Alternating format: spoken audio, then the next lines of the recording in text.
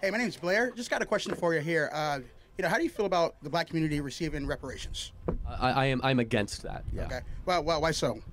Well, first of all, um, what what is the black community? So, for example, do you mean like recent immigrants from Haiti or Nigeria?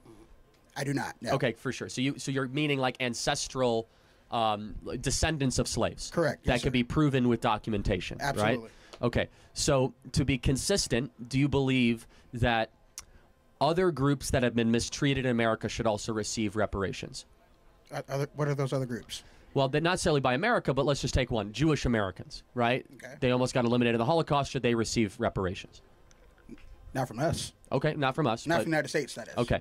So here's my view, and I want to hear yours, Okay. which is that I did not own slaves, and you were not a slave. Correct. Right. So we are individuals, and therefore we cannot be held accountable or should receive something from something that didn't happen to us or something we did not do.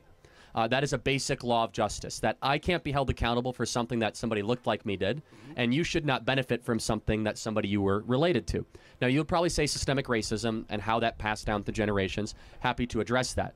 The problem with reparations, though, is basically what you're saying is I'm going to take money from Charlie Kirk for something he didn't do and give it to a group of something to somebody of something they also didn't do. For what reason? How is that just? So not so much how's it just, but there are those arguments that says because of what happened in the past, this group of people are, have been negatively affected from this nation's uh, crimes against humanity to that certain group of people, and that's how we see it, or how some how some people see it, if you will. Okay, sure, but I, I will say that even if there is some truth to that, which I wouldn't even be willing to grant very much, because Black America was doing incredibly well before the 19. I mean, not incredibly well. They were they were pacing to be even richer than White America. Is that we must look through the question of is it is it just and moral to take from one group? Especially first and second generation immigrants that had nothing to do with this. So think about it. Your tax base would be taxing, like, if anyone here is Irish or Polish and your family came 100 years ago, we would be taxing people that had nothing to do with it. And I'll go a step further.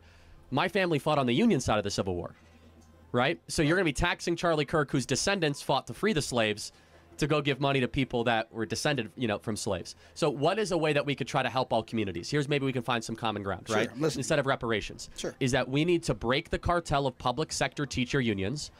Allow school choice to occur and make it easier for people of all backgrounds, but specifically Hispanic and black individuals and young kids to have a quality education because a good education in K through 12 is one of the most assured ways that they'll be able to succeed later in life. Secondly, we need to put fathers back in the home. Yeah, I agree with that. I, I, I, I, agree with that, yeah. Seventy percent of black kids are raised without a stable father in this mm-hmm. in, in, in the country. So if we can find common ground on that, I think that would go a lot further than just giving cash for people that happen to be related to something that, evil that happened a little while ago.